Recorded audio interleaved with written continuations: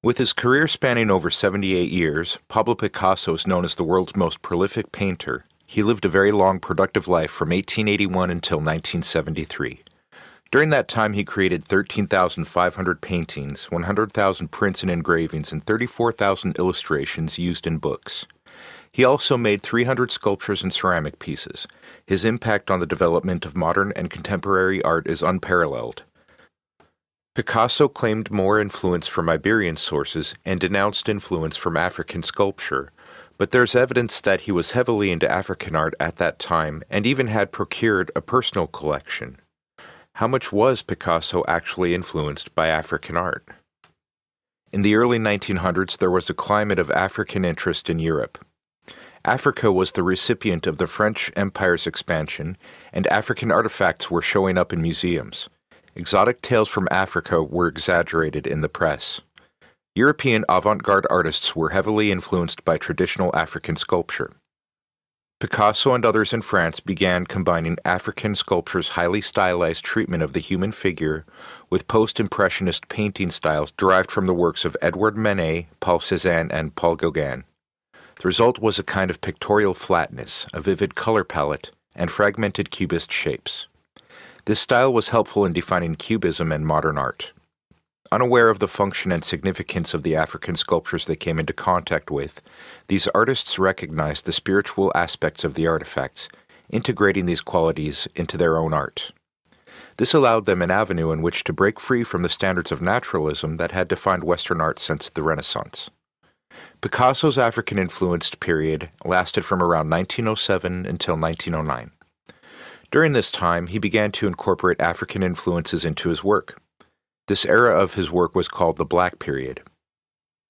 In Paris, France, between June and July of 1907, Picasso created one of the most influential paintings of modern art, Les Demoiselles d'Avignon. It is roughly an 8 foot square oil on canvas painting. Demoiselles presents five naked women set in a brothel. Avignon is a reference to a street in Barcelona known for its brothels.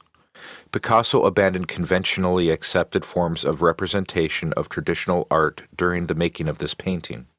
In Demoiselles, Picasso distorted the female body and geometric forms in an innovative way, which challenged the expectation of idealized representation of the female body in painting. The figures have faces made of flat, fragmented planes and inspired by Iberian sculpture and African masks. Everything is jagged and sharp, there is no reference to soft, round curves as is usually attached to the female form. Two of the women in the painting stand, staring penetratingly at the viewer, flaunting their breasts. The other three are masked. One in profile to the left appears to be wearing a brown, kind of fleshy wooden mask. The faces of the three women on the left are based on Iberian sculptures, where the two women to the right have faces inspired by African masks. Their eyes are displaced, and they all stare at the viewer, seemingly unaware of each other, even detached from one another and their setting. There is a contrast of styles in this painting that seems to enhance the power of their gaze. This reversed gaze, coupled with the idea of the self possessed woman, take them out of the role of being there merely for the male gaze.